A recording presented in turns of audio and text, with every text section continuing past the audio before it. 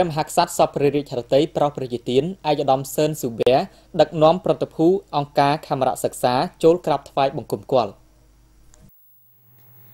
ព្រះករុណាជាអម្ចាស់ជីវិតលើត្បូងព្រះបាទសម្ដេចព្រះបរមនាថព្រះមហាក្សត្រនៃព្រះរាជាណាចក្រកម្ពុជា ជាទីសក្ការៈដ៏ខ្ពង់ខ្ពស់បំផុតព្រះអង្គបានសពព្រះរាជហឫទ័យ ប្រោសព្រះជាទានឯកឧត្តមសឿនស៊ូប៊ែឧត្តមប្រឹក្សាផ្ទាល់ព្រះមហាក្សត្រដឹកនាំគណៈបតិភូអង្គការមជ្ឈមណ្ឌលខេមរៈសិក្សា ដែលមានលោកស្រី Lois de Menil ជាប្រធានអង្គការត្រូវបានបញ្ចប់អាណត្តិបេសកកម្មព្រមទាំងសមាជិកភាពប្រធានថ្មីនាយកប្រតិបត្តិថ្មីអនុប្រធាន និងសមាជិកគណៈកម្មាធិការនយោបាយនៃអង្គការនេះចូលក្រាបថ្វាយបង្គំគាល់សម្ដែងការគួសមនៅព្រះមហាប្រាសាទខេមរិនក្នុងព្រះបរមរាជវាំងវេលាម៉ោង11ព្រឹកថ្ងៃទី10ខែមករាឆ្នាំ2017 ក្នុងឱកាសដ៏វិសេសវិសាលនោះគណៈបតិភូអង្គការមជ្ឈមណ្ឌលខេមរៈសិក្សា បានថ្វាយបាច់ផ្កាដ៏ស្រស់ល្អនិងព្រះសពសាធុការពរដ៏បវរមហាប្រសើរក្នុងឱកាសឆ្នាំថ្មីឆ្នាំសកល2017ថ្វាយព្រះករុណាជាអម្ចាស់ជីវិតលើត្បូងជាទីសក្ការៈដ៏ខ្ពង់ខ្ពស់បំផុតសូមព្រះអង្គបានប្រកបតែនឹងសេរីសួស្តីព្រះបរមសុខព្រះរាជសុខុមាលភាពដ៏ល្អបរិបូរណ៍និងមានព្រះជន្មយឺនយូរជាងរយព្រះវស្សា ដើម្បីគង់ប្រថាប់នៅជាម្លប់ដ៏ត្រជាក់សុខសាន្តសម្បូរថ្កុំថ្កើងដល់ជនរួមជាតិជាកូនចៅរបស់ព្រះអង្គជាដរាបតរៀងទៅជាមួយគ្នានេះគណៈបតិភូបានថ្វាយដង្វាយវត្ថុអនុស្សាវរីយ៍មានផ្លែឈើអង្ករផ្កាម្លិះផលិតតាមលក្ខណៈធម្មជាតិមានឱជារសនិងគុណភាពខ្ពស់ចំនួន10បាវស្មើនឹង500គីឡូក្រាមនិងសៀវភៅស្ដីពីពុទ្ធិចំណេះដឹងផ្សេងផ្សេងដែលជាសមិទ្ធផលរបស់អង្គការមជ្ឈមណ្ឌលខេមរៈសិក្សា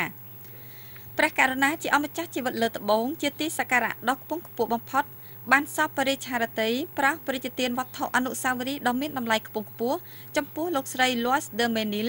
និងស្វាមីទទួលបានថាសប្រាក់ប្រអប់បារីប្រាក់និងគណៈបតិភូទទួលបានប្រអប់បារីប្រាក់និងខ្លងប្រាក់ដោយមានលម្អនៅក្បូរក្បាច់ចម្លាក់តាមរចនាបថប្រពៃណីបុរាណខ្មែរដែលមានភាពរុងរឿងល្បីល្បាញតាំងពីបុរាណកាល។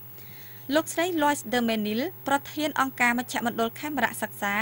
មានសេចក្តីរំភើបត្រេកអរក្រៃលែងសូមថ្លែងអំណរព្រះរាជគុណដ៏ជ្រាលជ្រៅបំផុតថ្វាយព្រះករុណាជាអម្ចាស់ជីវិតលើត្បូងព្រះអង្គសពព្រះរាជហឫទ័យប្រោះព្រះរាជទានលោកស្រី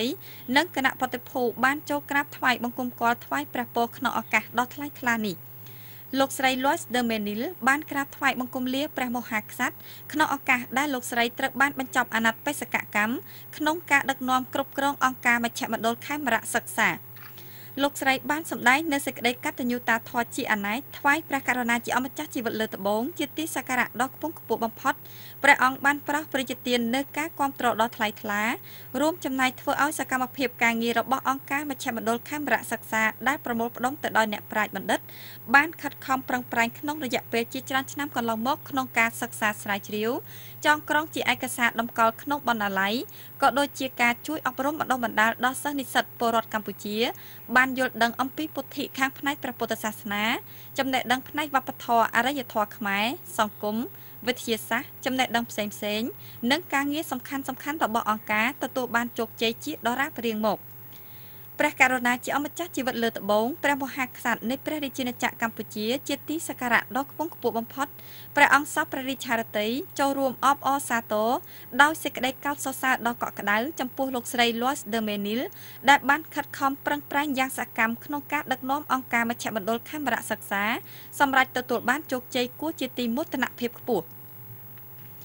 ការរីកចម្រើននៃសកម្មភាពរបស់អង្គការមជ្ឈមណ្ឌលខេមរៈសិក្សាបានចូលរួមចំណែកយ៉ាងសំខាន់ដល់ការអភិវឌ្ឍធនធានមនុស្សនៅកម្ពុជា ដែលជាមូលដ្ឋានគ្រឹះនៃភាពចម្រើនថ្កុំថ្កើងនៅក្នុងសង្គមជាតិយើង។ ព្រះអង្គបានសពព្រះរាជហឫទ័យប្រោះព្រះជាទានពរជ័យសិរីមង្គលជូនលោកស្រី Lois de Menil សូមបានប្រកបនូវសុខភាពល្អទទួលបានជោគជ័យថ្មីថ្មីថែមទៀតក្នុងការបំពេញភារកិច្ចថ្មីព្រមទាំងបានប្រោះព្រះជាទានពរជ័យមង្គលដល់ប្រធានថ្មីនាយកប្រតិបត្តិថ្មីអនុប្រធាននិងសមាជិកគណៈកម្មាធិការនាយកនៃអង្គការមជ្ឈមណ្ឌលខេមរៈសិក្សាសូមបានប្រកបនូវអាយុវណ្ណៈសុខៈពលៈនិងទទួលបានជោគជ័យក្នុងការបំពេញនូវរាល់ភារកិច្ច